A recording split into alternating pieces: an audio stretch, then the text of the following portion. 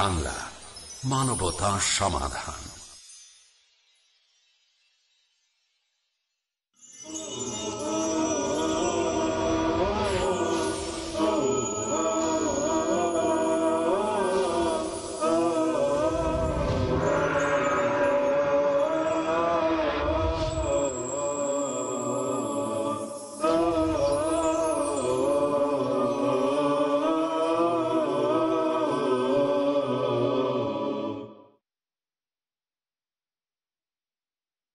السلام عليكم ورحمة الله وبركاته. إن الحمد لله نحمده ونصلي على رسوله الكريم. أما بعد فإن خير الحديث كتاب الله وخير الهدي هدي محمد صلى الله عليه وسلم وشر الأمور محدثاتها وكل محدثة بدعة وكل بدعة ضلالة. PST বাংলার সম্মানিত শ্রোতা ও দর্শকবৃন্দ, সকলকে প্রাণঢালা শুভেচ্ছা ও মোবারকবাদ জানিয়ে শুরু করছি আপনাদের প্রিয় অনুষ্ঠান দর্শে হাদিস।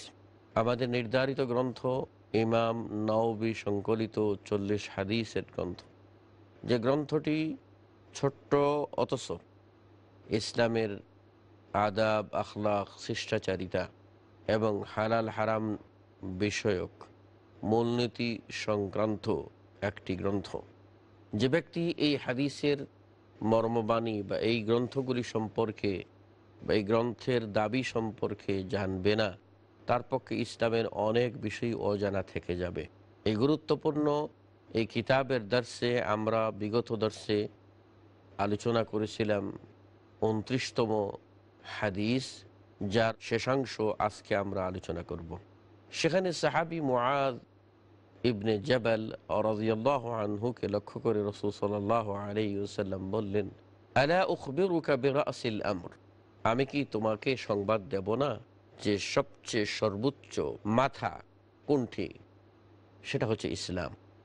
ও আর এর খুঁটি বা এর স্তম্ভ হচ্ছে সলাত ও জেরুয়াতু সানামিহি আল জিহাদ, আর এই ইসলামের সর্বোচ্চ শিখর হচ্ছে জিহাদ ফিসাবিল্লাহ এরপর রসুল সাল আলহি বললেন, আলা অখবিরুকা বিমিলা কিদা আলিকা করলি এই সবগুলিকে মানে সকল কল্যাণকে নিয়ন্ত্রণ করতে পারে এমন সব বিষয়ের কথা বলব। নিয়ন্ত্রক কোনটি? চাবিকাটি কোনটি? ফকলথু সাহাবি মাজ বললেন বেলায়া রসুল আল্লাহ হে আল্লাহ রসুল, আপনি বলুন তখন রসুল সাল আলী সাল্লাম তার জবান ধরলেন আর বললেন কুফা আলাইকা তোমার উপরে আবশ্যক এই জবানকে তুমি নিয়ন্ত্রণ করো। কলথু ইয়া নবী আল্লাহ আমি বললাম, হে আল্লাহর নবী ও আমরা যে এই জবান দ্বারা যে কথাবার্তা বলি, এগুলোর জন্য কি আমরা পাকড়াও হব? এগুলির জন্য কি আমাদেরকে ধরা হবে? এর জন্য কি আমাদেরকে মোয়াখাজা করা হবে? তখন রসুল সাল আলী সাল্লাম তাকে সামান্য ভর্সনা করে বললেন, শোনো, মানুষ জাহান নামে উপরমুখী হয়ে ঢুকবে, একমাত্র তাদের জামান যা অর্জন করবে এর বিনিময়ে। শুধুও দর্শকবৃন্দ। এখানে রসুল সাল আলহি ওসাল্লাম সাহাবি মোয়াজকে দৃষ্টি আকর্ষণের জন্য তার মনোনিবেশ যেন গভীরভাবে হয়, সেজন্য রসুল বললেন, আলা খবেরুক আমি কি তোমাকে বলব? আমি কি তোমাকে সংবাদ দেব? তখন সাহাবির মনোযোগ রসুলের প্রতি আকৃষ্ট হলো। হওয়ার পর রসুল সাল আলহি ওসাল্লাম তাকে বললেন, জেনে রেখো, মূল হচ্ছে ইসলাম। আর এই ইসলাম পরিপূর্ণতা লাভ করেছে আমাদের নবী মোহাম্মদ রসুল্লাহ সাল্লাহ আলিউসাল্লামের উপর।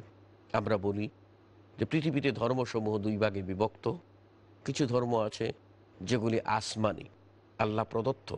আর কিছু ধর্ম আছে মানব রচিত মানব রচিত ধর্মের কথা আমরা আলোচনায় নিলাম না। কেননা মানুষের জ্ঞান কখনো অভ্রান্ত সত্যের উৎস হইতে পারে না। মানুষের এই সীমিত জ্ঞান দিয়ে যে ব্যক্তি নিজের সমস্যাই নিজে সমাধান করতে পারে না, সে জাতির মুক্তির পথ নির্দেশনা দেবে। এটা খুব দুরূহ ব্যাপার এবং এটা কাল্পনিক স্বপ্ন বই আর কিছু নয়। আল্লাহ সুবাহ কাদেরুল কদরত সমস্ত শক্তির আধার। তিনিই মানুষকে সৃষ্টি করেছেন এবং তিনি জানেন মানুষের কোন পথে কল্যাণ, কোন পথে অকল্যাণ। মানুষ আগামীতে কি করবে সে সম্পর্কেও তার জ্ঞান রয়েছে। সেই আলোকে আল্লাহ রব্বুল্লা আলমিন তার পক্ষ থেকে যে দিন দিয়েছেন, যে বিধান দিয়েছেন, সেটি হলো চূড়ান্ত বিধান। এই বিধানসমূহ আবার দুই ভাগে বিভক্ত। কিছু বিধান যেগুলি আল্লাহ রবুল্লাহ আলমিন আগে দিয়েছেন, কিন্তু মানুষ তার মধ্যে বিগড়াই ফেলেছে, পরিবর্তন করে ফেলেছে, সংযোজন বিয়োজন করে ফেলেছে। আল্লাহর ওই বিধানকে যথাযথ থাকতে দেয়নি।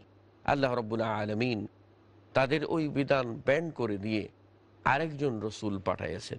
এইভাবে ঈসা আলাই ইসালাম পর্যন্ত যে সমস্ত কিতাবগুলি আল্লাহ নাদিল করেছিলেন, সবগুলিকে আল্লাহ রব্বুল্লাহ আলমিন ব্যান্ড করে দিয়েছেন। কিন্তু আমাদের প্রতি বাধ্যতা করে দিয়েছেন। আমরা সেগুলির প্রতি ইমান আনব যেগুলি আল্লাহর কিতাব, কিন্তু এর উপরে আমল করা যাবে না। চূড়ান্ত ধর্ম হচ্ছে ইসলাম, যেটা আমাদের নবী মোহাম্মদ সাল আলী ইসলামের মাধ্যমে আল্লাহ রব্বুল্লাহ আলমিন আমাদেরকে দিয়েছেন। শুধুও দর্শকবৃন্দ, অন্যান্য ধর্মগ্রন্থ পাঠ করার প্রয়োজনীয়তা নেই।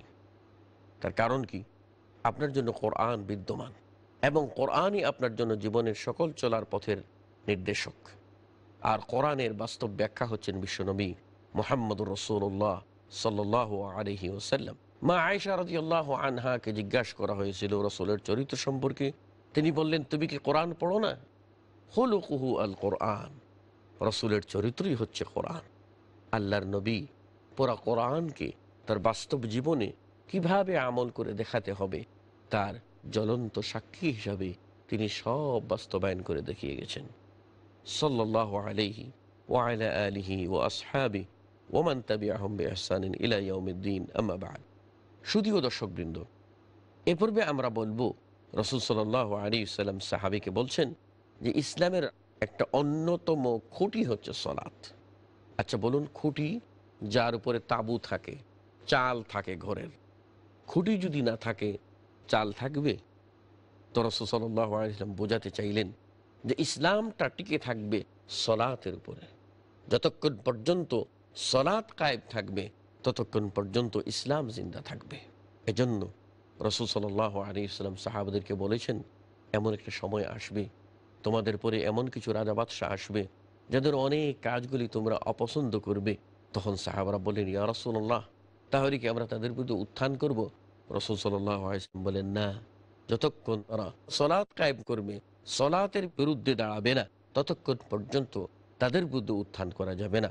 সলাৎ এমন একটি মৌলিক ভিত্তি যার উপরে ইসলাম রয়েছে। যারা সালাত আদায় করে তারা মুসলিম, যারা সালাত আদায় করে না বাহ্যত নিজেদেরকে মুসলিম বলে দাবি করলেও তাদের দাবি অন্তঃসার শূন্য, তাদের দাবি মিথ্যা বই আর কিছু নয়। শুধুও দর্শকবৃন্দ, এরপর রসুল সাল আলী সাল্লাম বললেন যে আল জিহাদ। ইসলামের সর্বোচ্চ শিখর হচ্ছে জিহাদ। এখানে জিহাদ শব্দটি যদি আম ধরি, তাহলে সকল প্রকার চেষ্টা ইসলামকে বিজয়ী করার জন্য সকল প্রকার চেষ্টা এর অন্তর্ভুক্ত। আর জিহাদের প্রথম শুরু হয় মানুষের নফসের বিরুদ্ধে। নফস বা প্রবৃত্তি মানুষকে অন্যায়ের দিকে ধাবিত করতে চায়। তখন মানুষ মুজাহাদা করে, তখন মানুষ সাধনা করে। তার প্রবৃত্তি তাকে বাম দিকে ডাকছে, তখন তার ইমান ওয়াকিন তাকে ডান দিকে ডাকছে। এই যে নফসের বিরুদ্ধে লড়াই করে হকের উপরে প্রতিষ্ঠিত থাকা শুরু হলো তার প্রথম জিহাদ। এরপর পরিবার, সমাজ সর্বত্র ইসলাম পালন করতে গিয়ে, ইসলামের আহকামগুলি পালন করতে গিয়ে তাকে কঠিন থেকে কঠিনতর সংগ্রামে লিপ্ত হতে হয় এবং সব সময় তাকে সজাগ থাকতে হয়। এটা তার জেহাদের শ্রেণীবিন্যাস।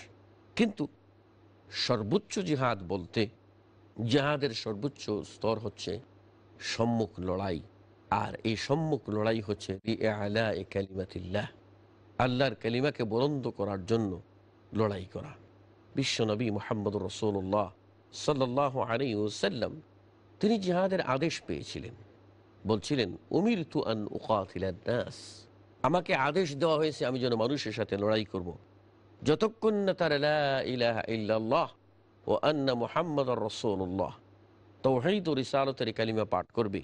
ততক্ষণ পর্যন্ত তাদের বুদ্ধে লড়াই করতে রসুল আসলামকে আদেশ করা হয়েছে। কিন্তু আমরা যদি দেখি, তাহলে ইতিহাস আমাদের সামনে প্রমাণ করবে আমাদের প্রিয় হাবিব মোহাম্মদ রসুল্লাহ সাল্লাহ আলী সাল্লাম জীবনে যতটি লড়াই করেছেন, প্রত্যেকটি লড়াই ছিল আত্মরক্ষামূলক ইমানকে বাঁচাবার জন্য, ইসলামকে বাঁচাবার জন্য আল্লাহর কালিমাকে বুলন্দ করার জন্য। কখনো রসুল সাল্লাহ আলী সাল্লাম জবরদখলের জন্য কোথাও আক্রমণ করেন নাই। কোথাও তিনি ফাসাদ সৃষ্টি করেন নাই। বরং আপনারা জানেন যে মোতার যুদ্ধ সংগঠিত হয়েছিল রোমিও বাহিনীদের বিরুদ্ধে। সেই যুদ্ধে সূচনাই ছিল রসুল আসলামের একজন দূতকে তারা হত্যা করেছিল। এই হত্যার প্রতিবাদে মিশন পাঠিয়ে রসুল সাল্লাহ আলী ওসিয়ত করে বলছেন, যাও তোমরা যখন যাচ্ছ, প্রথমেই তাদেরকে দাওয়াত দেবে তো হইদরিস আলতের তারা যদি দাওয়াত মেনে নেয়, তাহলে তারা তোমাদের ভাই, আর তাদের বিরুদ্ধে অস্ত্র তোলা যাবে না। এটা ছিল রাহমাতুল্লিল আলমিন মোহাম্মদ রসুল্লাহ সাল্লাহ আলী সাল্লামের নির্দেশনা। জেহাদ কেয়ামত পর্যন্ত বাকি থাকবে। শুধুও দর্শকবৃন্দ আমরা যাচ্ছি ছোট্ট একটা বিরতিতে। ততক্ষণে আপনারা আমাদের সাথেই থাকুন। ধন্যবাদ।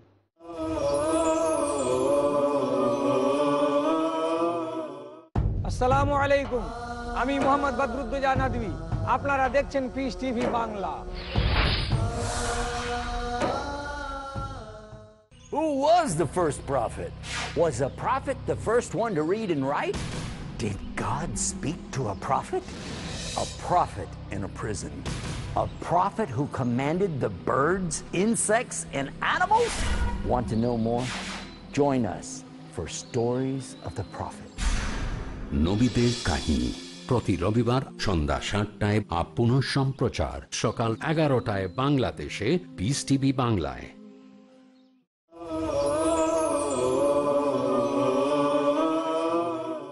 বিরতির পর পুনরায় আপনাদেরকে আপনাদের এই প্রিয় ভুবনে স্বাগতম।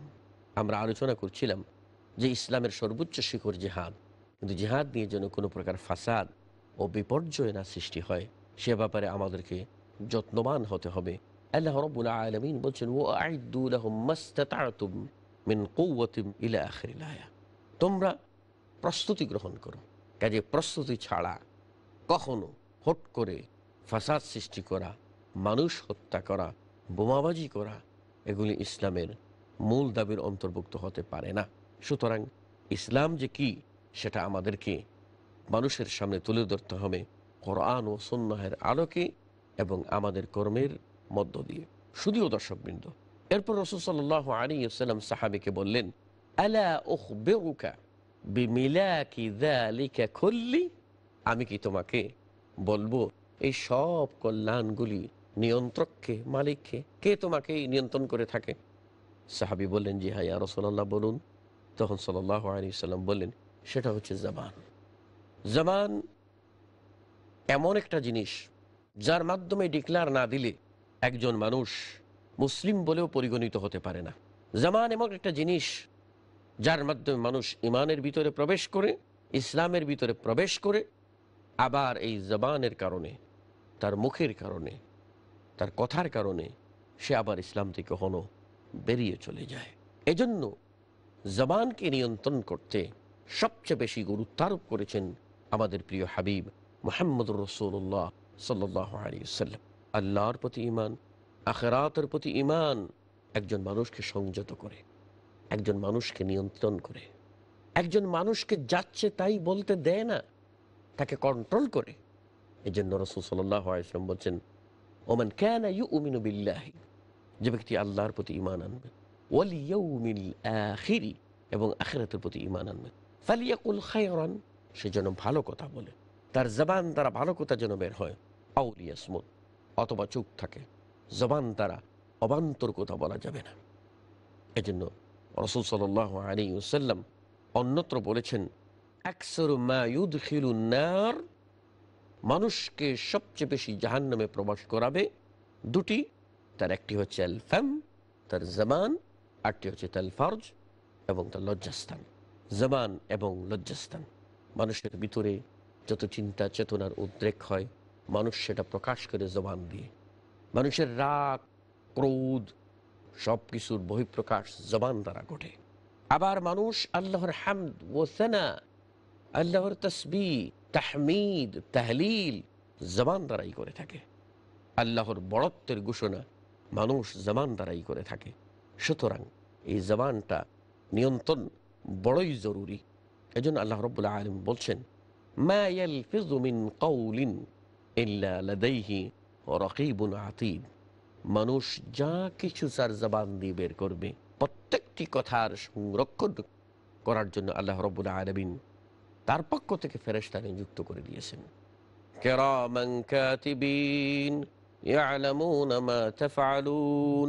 সম্মানিত লেখক, ফেরেশতা রয়ে গেছেন। আপনি যা বলবেন রেকর্ড হয়ে যাবে, সব লেখা হয়ে যাবে। সুতরাং রসুল বলছেন যে আলসিনাতিহিম। একজন মানুষকে সবচেয়ে বেশি জাহান্নামে নিয়ে যাবে তার জামানের হাসাদ জবান দ্বারা যা অর্জন করেছে। বন্ধুগণ জবান দ্বারা মানুষ ভালো কাজ করে জবান দ্বারা মানুষ খারাপ কাজ করে। উদাহরণস্বরূপ ক্ষেত। এই ক্ষেত যদি আমি ভালো ফসল করি, তাহলে ভালো ফসল নিয়ে আমি ঘরে উঠব। আর যদি আমি খারাপ ফসল করি, তাহলে খারাপ ফসল নিয়ে আমাকে ঘরে উঠতে হবে। ঠিক একজন মানুষ তার জবান তারা যদি ভালো কাজ করে, তাহলে সেই জবান তাকে ভালো কাজের দিকে উদ্বুদ্ধ করবে এবং তার ফসল ভালো হবে। আবার যদি সে খারাপের দিকে ধাবিত হয়, তাহলে কিন্তু মানুষ খারাপ নিয়ে কেয়ামতের মাঠে উঠতে হবে। ওলা হাউলা ওলা কুয়াতা বিল্লাহ। আমরা জানি, আল্লাহ সুবহানাহু ওয়া তাআলা নিজেই বলেছেন কেয়ামতের দিনে জামান যাতে টাল্টি পাল্টি না করতে পারে, সেই জন্য জবানকে বন্ধ করে দেবেন। ইয়ৌমা নাখতিমু আলা আফওয়াহিহিম ওয়া তুকাল্লিমুনা আইদিহিম ওয়া তাশহাদু আরজুলুহুম বিমা কানু ইয়াকসিবুন আল্লাহ রাব্বুল আলামিন কিয়ামতের দিনে মানুষের জবানকে বন্ধ করে দেবেন, হাত দুটিকে কথা বলার শক্তি দেবেন, পা দুটি সাক্ষী দেবে। জামান নরসর করবে টাল্টিবাল্টি করবে, ছয়নয় করবে, বোঝাবার চেষ্টা করবে, সেটা সম্ভব হবে না।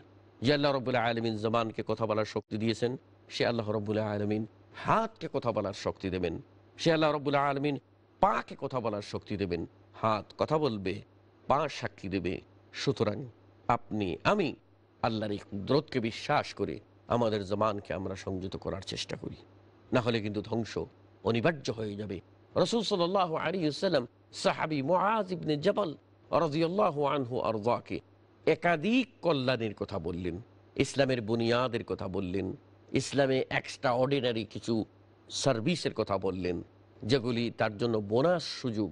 সে নফল আবাদতের কথা তাকে বললেন। তারপর ইসলামের মূল স্তম্ভ কি? ইসলামের সর্বোচ্চ শিখর কোনটি?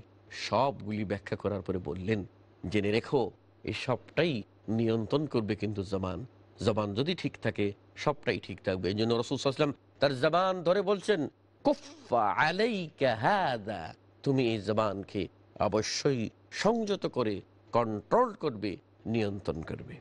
শুধুও দর্শক বিন্দু এই যে জবান, এই জবান দিয়ে তো আমরা সর্বনাশ করি। মানুষ তার জবান দ্বারা অবান্তর কথা বলে, অশ্লীল কথা বলে, জবান দ্বারা সব উল্টাপাল্টা করে সে নিজেই ধরা খায়। এর জন্য রসুল সাল আলী সাল্লাম মধ্যে বলছেন, মান সাকাতা সালিমা, ওমান সালিমা নাজা। যে ব্যক্তি চুপ থাকল সে নিরাপদ থাকল। ওমান সালিমা নাজা যে ব্যক্তি নিরাপদ থাকল, সে নাজাত পেয়ে গেল, মুক্তি পেয়ে গেল। কাজেই জবান যত বেশি চলবে, তত বেশি হিসাব দিতে হবে। জবান যত বেশি নিয়ন্ত্রণের ভিতরে চলবে, তত বেশি আপনি মঙ্গলের ভিতরে থাকবেন। এর জন্য জবানকে সবসময় আল্লাহর জিকির ও আসকার তসবি তাহলিলের ভিতরে আপনাকে ব্যয় করতে হবে। কখনো যেন জবান অন্যায়ের দিকে ধাবিত না হয়। শুধুও দর্শকবৃন্দ। জবান এমন একটা জিনিস, যে জবান দ্বারা মানুষ আল্লাহর শানে অবান্তর কথা বলে ফেলল। বেলা এল জ্ঞান নেই, অজ্ঞতা নিয়ে আল্লাহর সম্পর্কে অবান্তর মন্তব্য করে ফেলল। অথচ আল্লাহ রব্বুল্লাহ আলমিন বলে দিয়েছেন ওলা তাকফু যে বিষয়ে তোমার জ্ঞান নেই, সে বিষয়ে তুমি কথা বলিও না। আল্লাহ সম্পর্কে বক্তব্য দিতে গেলে আপনাকে অবশ্যই দলিল, প্রমাণ সহ যা সত্য, যা নিরেট, যা খাঁটি, যা আল্লাহ রবুল্লাহ আলমিনের জালালত ও কদরত, এর শান অনুযায়ী হবে, তাই বক্তব্য দিতে হবে। এর চেয়ে বেশি বলা যাবে না। যেমনটি হাদিসে কদসির ভিতরে আসছে। রসুল সাল আলী সাল্লাম বলেন মনি আদম আমাকে কষ্ট দেয়, আমাকে গালি দেয়। তারা আমাকে গালি দেয় কেমন করে?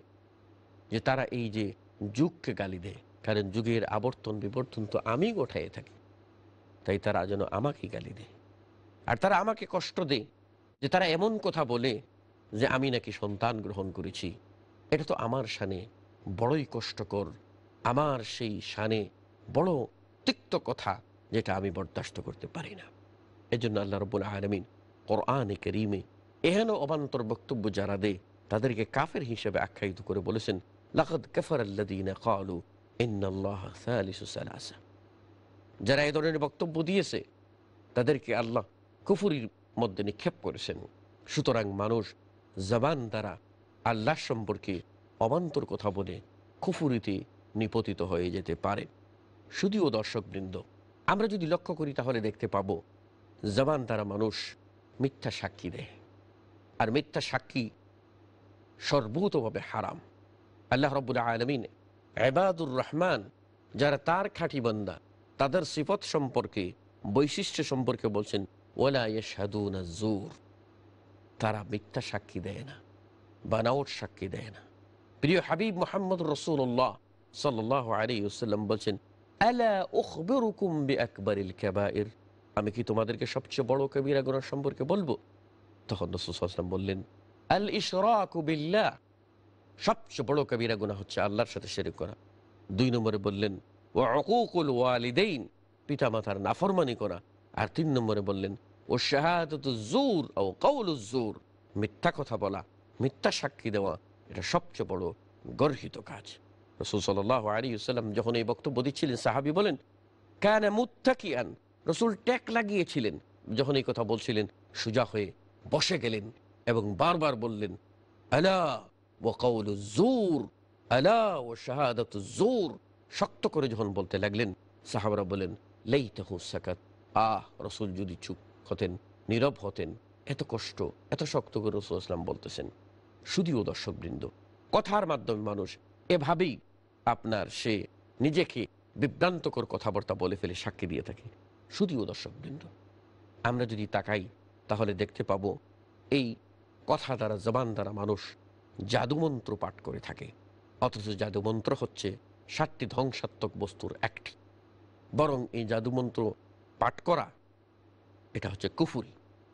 আল্লাহ রবুল আলমিন কোরআনে বলেছেন, ওমা কাফার সুলাইমানু ওলাকিন্না শায়াতিন কাফারু ইউআল্লিমুনা নাস আস-সিহর। সুলাইমান কুফরি করেন নাই, বরং কুফরি করেছে শয়তান, মানুষকে জাদুবিদ্যা শিক্ষা দিয়েছে। জাদু এটি মারাত্মক, যা মানুষের ভিতরে বিভেদ সৃষ্টি করে, আর ইসলাম সর্বতভাবে সেটাকে নিষেধ করেছে। অনুরূপভাবে কজফুল মোহসানাত, সতী সাধবী, নারীর প্রতি অপবাদ দেওয়া, এটা আপনার এই জবান দ্বারা হয়ে থাকে।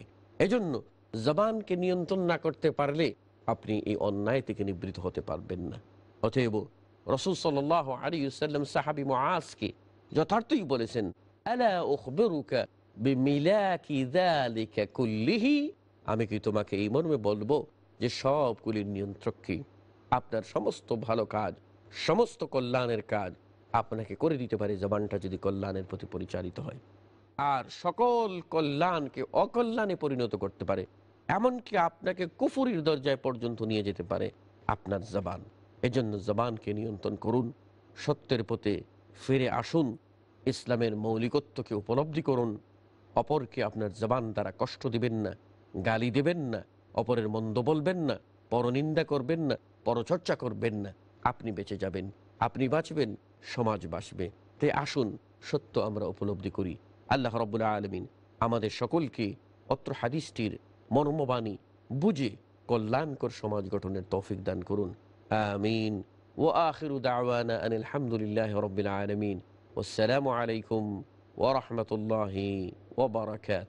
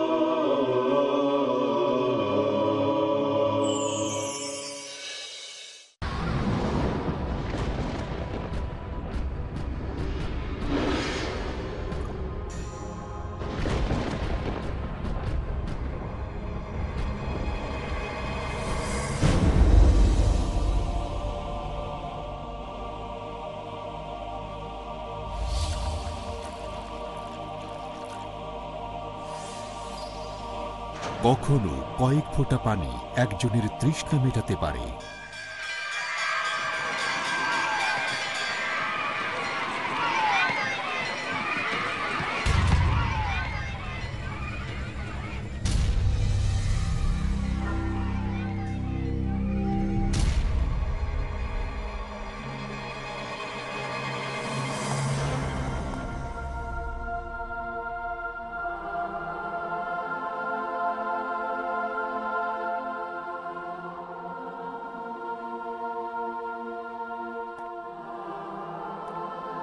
কখনো একটি সাহায্যের হাত মানুষের মুখে হাসি ফোটাতে পারে। আমাকে খেলনাটা একটু দাও না দাও না দাও না।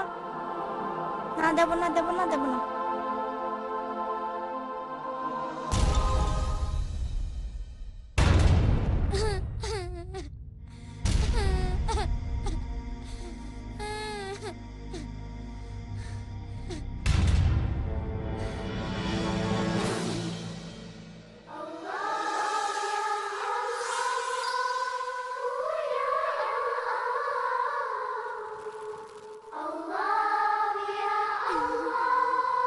কখনো সামান্য একটি উপহার হতে পারে মহামূল্যবান।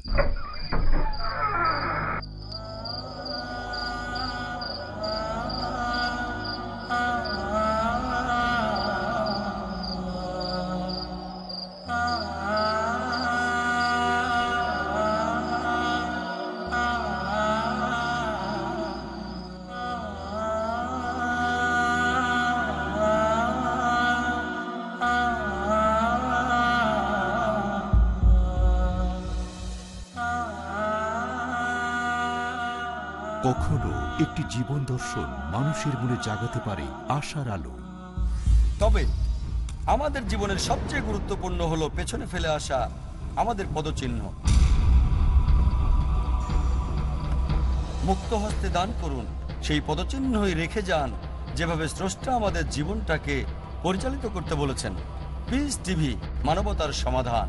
আপনাদের ডোনেশন আর জাকাত পাঠিয়ে দিন। পিস টিভিকে সমর্থন করুন। ডোনেশন এবং জাকাত পাঠানোর ঠিকানা আইআরএফআই আলট্রায়ন ব্যাংক কোয়াড্রান কোড আটচল্লিশ Calthorpe road Birmingham UK post code B one five one TH sort code three zero double zero eight three swift BIC code IBO BGB double two IBAN GB five two LOID three zero nine six three four zero one zero two four one nine two pound account number zero double one three two three zero one euro account number zero double one three two three zero two US dollar account number zero double one three two three zero three টাকা পাঠিয়ে আমাদের email করুন admin at the rate peace TV dot TV peace TV মানবতার সমাধান।